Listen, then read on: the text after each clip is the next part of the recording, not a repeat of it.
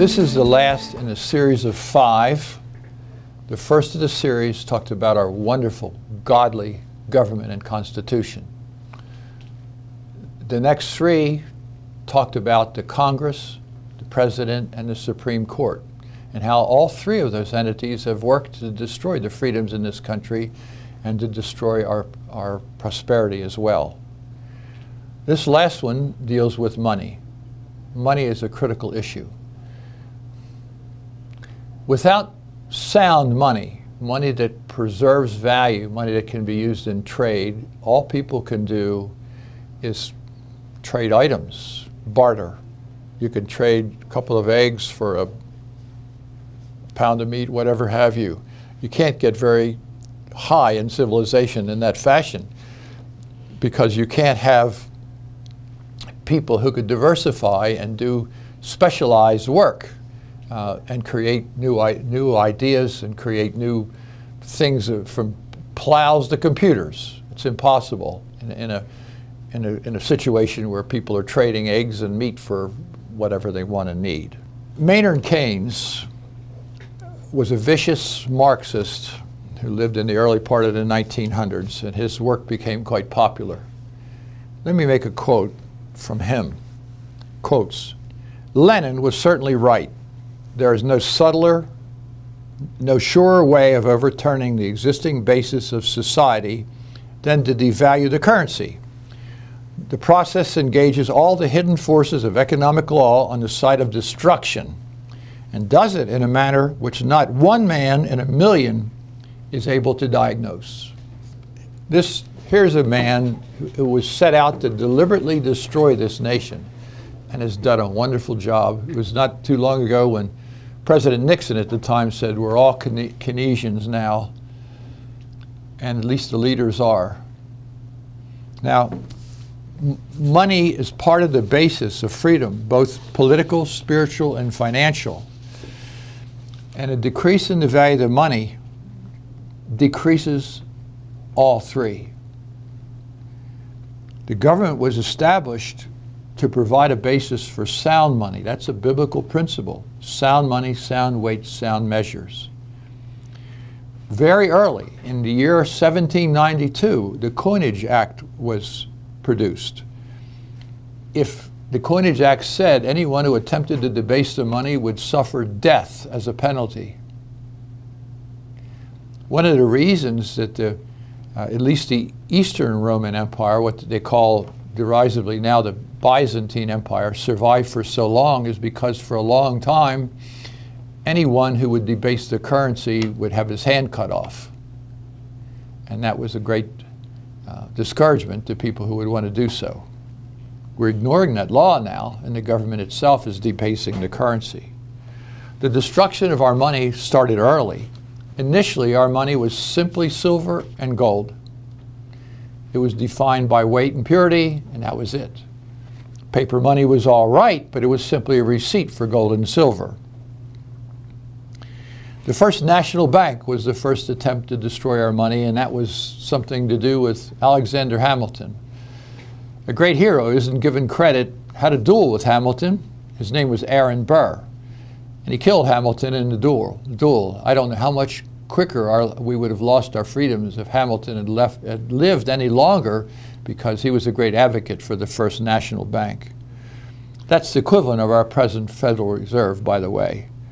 That first national bank was chartered, caused so much trouble, so much inflation, so much destruction in the economy that the charter was finally ended in 1811. Then the Congress chartered, chartered the second national bank in 1816 understand that politicians want to have a national bank as an unlimited source of money. Andrew Jackson basically based his whole career on eliminating that second national bank, and he succeeded. He said, They're going to kill me or I'm going to kill them. And in the end, he said, I killed them. And he was right. Understand the viciousness of these bankers and the politicians who support them. You've heard of the defense. By insanity, someone murders somebody, they say he's innocent by virtue of insanity. The first time that came up, it was invented when the man who tried to assassinate uh, President Jackson failed in the process because it was a rainy day and his black powder pistols misfired. He bragged to the policeman who arrested him that he would never see prison. In fact, he said the bankers who hired him to kill Andrew Jackson promised him he'd never see prison, and he never did. He went to trial. He was found innocent uh, based on the plea of insanity, the first time that ever happened. Now, if you ask me, a person who's insane and goes around killing people is a more dangerous than a person who's sane and goes around killing people. Nonetheless, the idea stuck.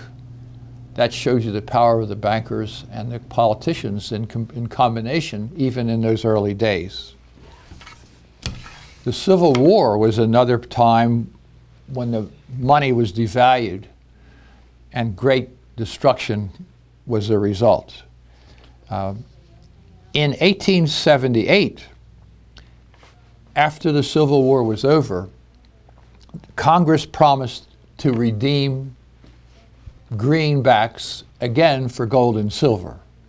And for a period of time, from 1878 to 1913, we had real money. No inflation, probably the greatest period of growth and prosperity in the history of the country. Real money is the foundation of freedom and prosperity. It gives control of the finances and the economy to individuals, not the government, not bankers.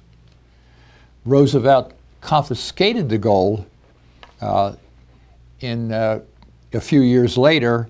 He took the gold from individuals who owned it and he paid them $20 an ounce and quickly raised the price to $35 per ounce once he had received all the gold he thought he could get. That was an enormous devaluation of the money at the, at the point. That was done because the Federal Reserve was creating phony money and there wasn't enough gold to back the money at the price where it had been fixed for so many years. In 1964, President Nixon stopped the coinage of silver money, and in 1971 he stopped the ability of foreign governments to trade money for gold from the American Treasury. From, the, from 1971 on, the value of our money has been reduced by 80%. From the time that the Federal Reserve was created, it's been reduced by 98%. Most of it has happened since gold and silver were eliminated as brakes to inflation. That was the constitutional way to prevent inflation and to protect the liberty of Americans. I hope you've understood more about the, the, purpose of real money and who and what was responsible for its destruction. I hope you found this useful.